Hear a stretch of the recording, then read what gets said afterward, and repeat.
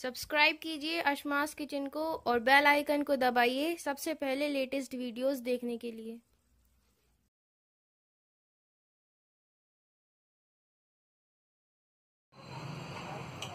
अस्सलाम वालेकुम नाजरीन, अशमास किचन में आपका स्वागत है। तो आज मैं आपको तो आसान तरीके से आलू के पराठे बनाना बताऊँगी। तो चलिए नाजरीन, आलू के पराठे बनाना हम शुरू करते हैं।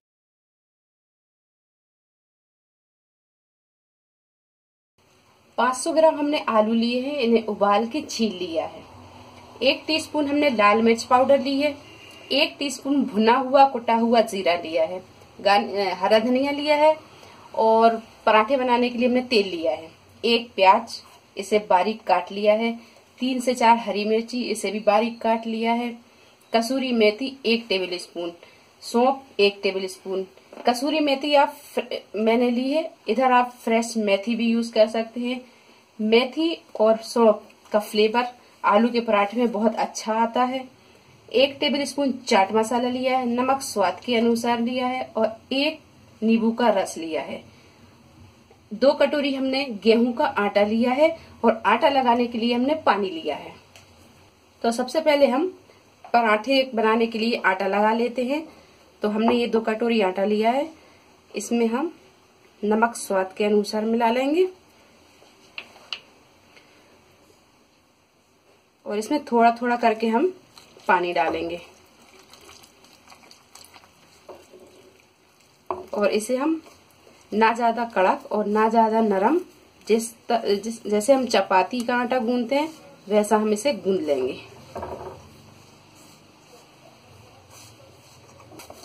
तो ये आटा हमने गूंद लिया है और ये ना ज़्यादा कड़क है और ना ज़्यादा नरम है। जैसा हम चपाती बनाते हैं, वैसा ही आटा है। तो इस आटे को हम 15 से 20 मिनट सेट होने रख देते हैं। जब तक ये सेट होता है, उतनी देर में हम स्टफिंग तैयार करते हैं। तो एक खाली बाउल में ये उबले आलू छिले हुए हम इसमें कद्दूकस कर लेंगे। तो ये सारे आलूओं को हमने कद्दूकस कर लिया है। ये देखिए। अब इसमें हम सारा मसाला मिला देंगे। तो आलू कद्दूकस हो गए हैं। अब इसमें हम ये कटी हुई प्याज मिला देंगे। हरी मिर्च, सौंप, लाल मिर्च पाउडर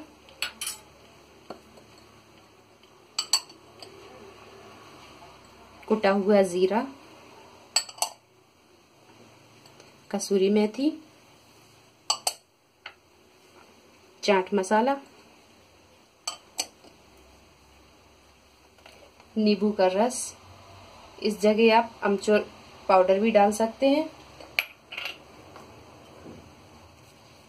हरा धनिया। और स्वाद के अनुसार नमक। अब इन सारी चीज़ों को हम अच्छी तरह मिक्स कर लेंगे।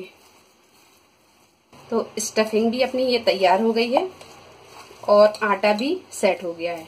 तो अब हम पराठे बनाना शुरू करते हैं। तो तवे को हमने गर्म होने गैस पे रख दिया है और ये आटा भी अच्छी तरह सेट हो गया है।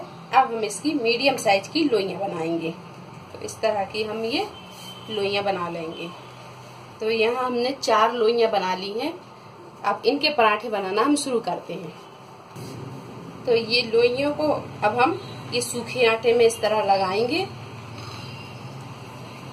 और इसे हम थोड़ा सा बड़ा कर लेंगे। इसे हम फिर से सूखे आटे में लगाएँगे। और अब हम इसे पूरी की तरह थोड़ा हम बेल लेंगे।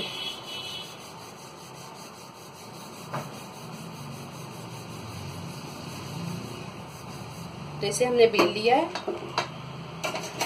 अब इसमें हम थोड़ा सा तेल लगाएँगे और इसे इस तरह उठा के और ऐसे हम फोल्ड करते जाएँगे।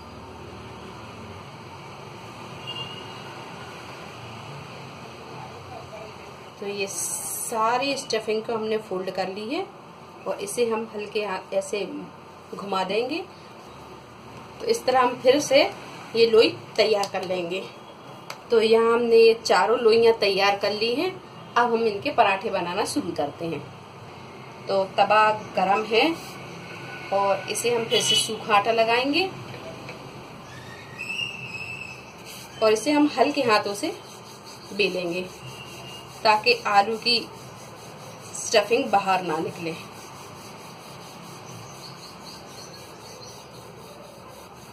और इसमें हम सूखा आटा कम लगाएँगे।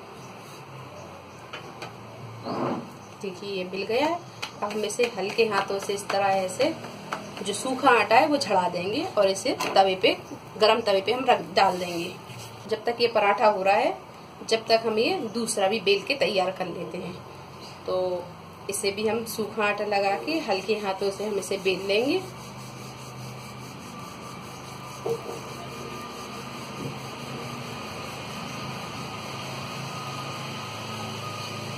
यहाँ हम पराठा बेलेंगे तो यहाँ दूसरे पराठे पे भी हम ध्यान रखेंगे। पराठा बिल गया है और ये इस पराठे का कलर भी चेंज होने लगा। अब हम इसे पलट देंगे। ये देखिए सिक गया है। इस पर हम ये यहाँ पे तेल लगा देंगे। तेल की जगह आप घी का भी यूज़ कर सकते हैं बटर का भी यूज़ कर सकते हैं। इसे अब हम फिर से पलट देंगे। और इसे भी यहाँ पे हम तेल लगा देंगे।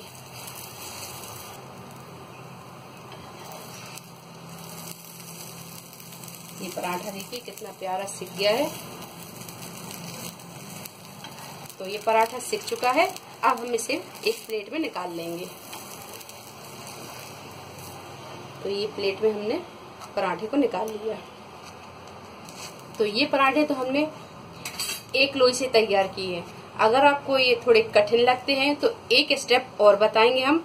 वो आपके लिए बहुत सरल होगा और उससे आप पराठे बहुत अच्छे बना सकते हैं। तो यहाँ हम एक छोटी लोई लेंगे। ये इस तरह। और इसी के बराबर एक लोई और लेंगे। तो हमने दो दो लोइयाँ ली हैं और दोनों को बिल्कुल बराबर ली हैं। ये दो लोइयाँ लेके, ये दो लोइयाँ हमने ले ली हैं। अब हम क्या करेंगे कि इन्हें हम थोड़ा सा बड़ा करेंगे।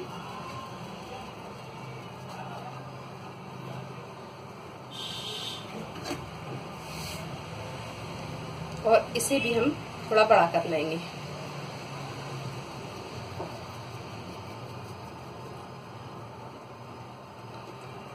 ये दोनों लोइयों को हमने थोड़ा बड़ा कर लिया है। अब इसे हम एक तरफ़ रखेंगे और इसे पहले हम बेल लेंगे।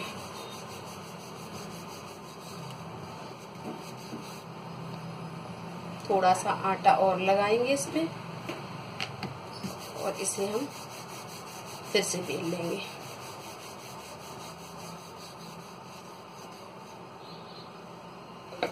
तो यहाँ हमने ये देखिए, ये पूरी की तरह इस लोई को हमने बेल लिया है। अब हम इसे एक प्लेट में रखेंगे और इसे भी हम उसी साइज़ की बेल लेंगे।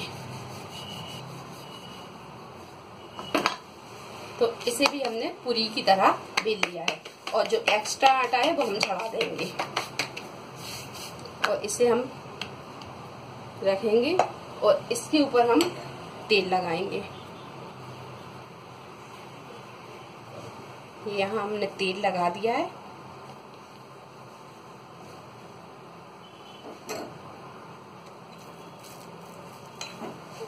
और एक चम्मच और यहाँ हम ये दो चम्मच। दो चम्मच हम ये स्टफिंग भरेंगे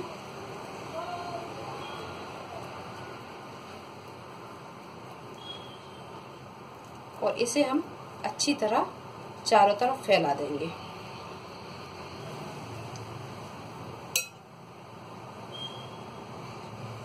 और ये जो हमने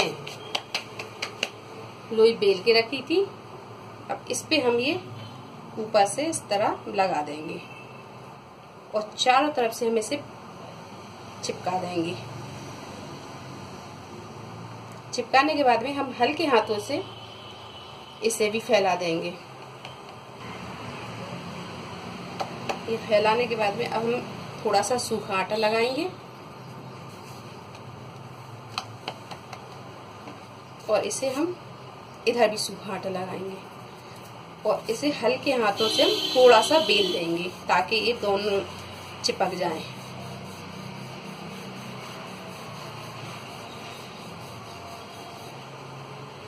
तो यहाँ हमने दोनों को लगा के और चिपका दिया है।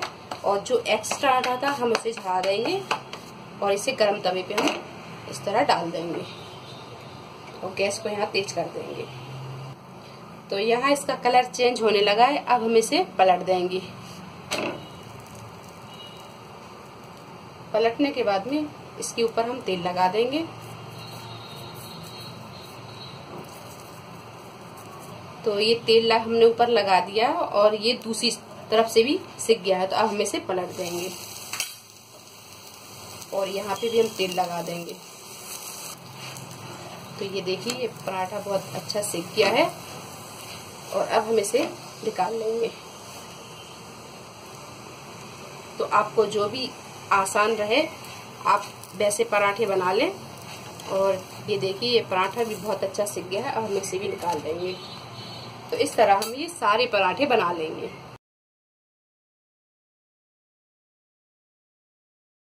बहुत ही मज़ेदार ये आलू के पराठे बने हैं। अगर आपको हमारी ये रेसिपी पसंद आई हो तो इसे लाइक करें शेयर करें और मेरे चैनल को सब्सक्राइब करें। अल्लाह हाफिज।